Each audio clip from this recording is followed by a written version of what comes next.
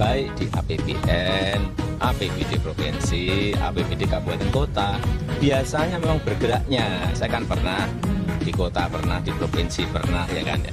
Bergeraknya memang biasanya baru di bulan Juni, Juli itu baru nanti mulai agak meroket itu September, Oktober, wah, pas November itu gini-gini. merek kita sendiri yang sudah dirintis kurang lebih 10 tahun yang lalu kita juga sekarang bingung. Eh, pesanan sudah kira-kira lebih dari 6.000. Dan pada kapasitas setelah uji emisi, setelah nanti sertifikat uji eh, tipe ini kami pegang, perkiraan saya bisa 4 sampai eh, 3 sampai 4 kali lipat. sebuah keputusan setelah larangan mudik bagi ASN, TNI Polri, dan pegawai BUMN sudah kita lakukan. Pada minggu yang lalu, pada rapat hari ini saya ingin menyampaikan juga bahwa mudik semuanya akan kita larang. Nah, kalau kalau mudik itu di hari lebarannya beda. Hanya perbedaan Untuk masalah merayakan waktu, Idul Bapak. Fitri, untuk merayakan Idul Fitri kalau yang naik pulang kampung itu ya bekerja di Jakarta, tetapi anak istrinya ada di kampung. Tapi itu kan hanya perbedaan timing Bapak Presiden. Tapi aktivitasnya sama. Mereka pulang dan kemungkinan membawa virus ke rumah itu juga sama.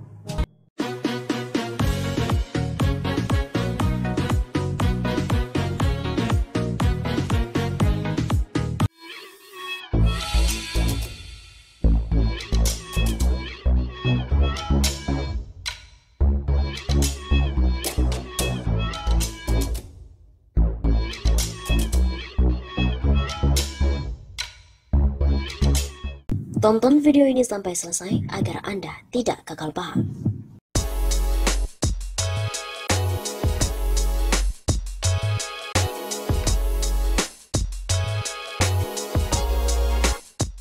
Kesalahan terbesar bangsa Indonesia adalah menjadikan Jokowi sebagai Presiden Indonesia. Sampai detik ini, tulisan ini adalah ditulis oleh legend Marinir Purnawirawan Soeharto. Detik ini juga ia tidak pernah menganggap Jokowi sebagai presiden. Karena KPU tahun 2015 tidak memeriksa beberapa kontainer dokumen C1 yang dikirim oleh Gerindra. Seharusnya tetap harus diperiksa satu persatu di depan TV di hadapan rakyat Indonesia. Kebenaran yang sahih sehingga tidak menimbulkan korban meninggalnya ketua KPU waktu itu.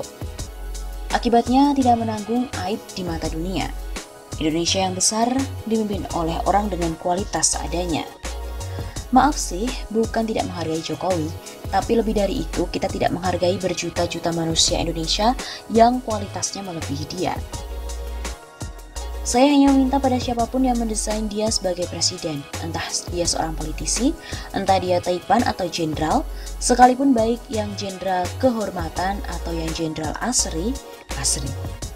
Sekalipun baik yang jenderal kehormatan atau yang jenderal asli, kira-kira sedikitlah, carilah yang lebih pantas.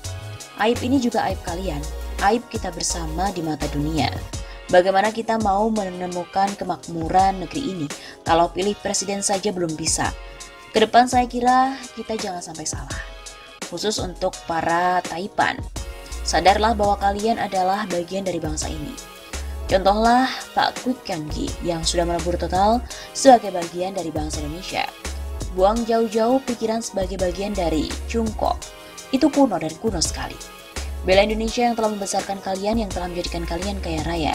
Jangan ikuti syahwat teritorial RRC. Sekarang kalian gelar karpet merah untuk mereka. Berikutnya dia menginjakkan kaki di karpet merah itu. Berikutnya lagi menginjak kepala kita termasuk kepala kalian. Buktinya mereka sudah menjadi ratusan ribu di negeri kita dan membawakan ideologi mereka komunisme di mana akan melumat kita semua dan termasuk kalian juga.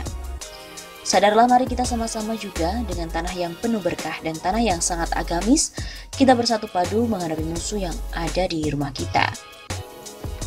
Rumah kita ini Indonesia dan bukan RRC apalagi Singapura. Bagi kawan-kawan yang sudah terbelai oleh lembutnya usaha pantangan para Taipan, untuk berjuang dan tinggalkan syahwat materi kekuasaan. Berjuanglah untuk anak cucu kita. Seperti kita ketahui, Jokowi banyak memberikan janji-janji. Dan ini dia janji palsu Jokowi. Presiden Joko Widodo mengumbar janji palsu ketika kampanye Pilpres 2014 dan juga Pilpres 2019. Demikian dikatakan oleh praktisi hukum dan dosen Fakultas Hukum Visipol Universitas Muhammadiyah Jakarta, Ahmad Yani dalam artikel berjudul Niretika antara janji Jokowi dan keluhan Sri Mulyani. Kata Ahmad Yani, 2014 Jokowi berjanji bahwa pengangkatan Jaksa Agung tidak akan mengambil orang dari partai politik. Janji itu diingkari di muka pasca dilantik tahun 2014. Selanjutnya tahun 2014 juga Jokowi menjanjikan bahwa para menteri tidak boleh dijabat oleh ketua umum partai. Diingkari sendiri oleh Jokowi. Kemudian ia juga membentuk kabinet ramping serta profesional. Justru malah membentuk kabinet dengan porsi yang gabuk dan syarat dengan politik balas budi serta bagi-bagi kekuasaan. Menurut Ahmad Yani lagi, Jokowi berjanji membentuk kabinet ramping dan pemangkasan birokrasi, hanya menjadi apologis mata. Pasca dilantik 2019, birokrasi justru semakin luas. Semua kementerian dibentuk wakil menterinya, bahkan birokrasi kementerian semakin panjang dan besar. Pembentukan badan atau lembaga yang terus dilakukan diduga adalah politik balas budi dengan cara yang paling norak. Ahmad Yani mengatakan Jokowi berjanji membangun rumah warga yang terkena gempa di Palu dan juga di NTB. Membangun rumah korban bencana belum selesai. Dalam kampanye 2019 muncul lagi janji untuk membangun rumah bagi milenial dan tukang cukur. Apakah rumah milenial dan tukang cukur sudah terbangun sekarang? Dari tahun 2014, janji Jokowi sudah menyebar dalam ratusan rupa, dari mobil SMK hingga ekonomi meroket, buyback Indosat hingga janji swasembada pangan. SMK kini katanya sudah diproduksi, tapi kita belum kenal pasti itu mobil dari mana dan mesinnya juga berasal dari mana. Swasembada pangan yang begitu heroik dibicarakan Jokowi setelah 2019 hanya jadi janji saja. Ada ratusan juta ton beras impor membusuk akibat nafsu impor. Beras busuk dibuang sementara kehidupan rakyat yang sedang getir menghadapi kelesuan ekonomi. 10 juta lapangan kerja yang dibicarakan lima tahun lalu sudah diisi oleh semua tenaga kerja asing. Kalau dihitung semua, dengan yang ilegal, melebihi 10 juta. Begitu teganya hingga anak negeri mengemis cari kerja, tapi negara memberikan pada asing. Semua demi investasi, meskipun negara harus digadaikan.